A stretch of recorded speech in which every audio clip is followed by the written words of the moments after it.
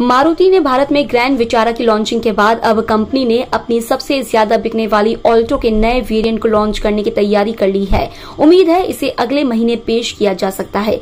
साल 2000 में लॉन्च की गई मारुति की ऑल्टो कुछ ही सालों में देश की सबसे ज़्यादा बिकने वाली कार बन गई थी।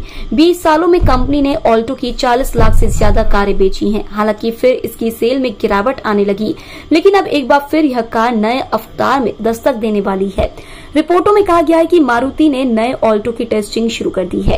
लीक हुई तस्वीरों में टेस्टिंग के दौरान इसकी झलक भी दिख चुकी है।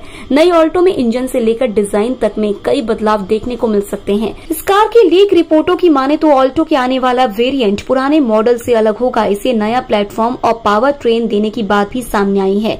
इनमें कहा जा रहा है कि कार मॉड्यूलर हार्टेक प्लेटफॉर्म पर तैयार की जाएगी। दूसरी कंपनियों द्वारा इस सेगमेंट में उतारी गई कारों के टक्कर लेने के लिए कंपनी के डिज़ाइन में भी बड़ा बदलाव करने वाली है।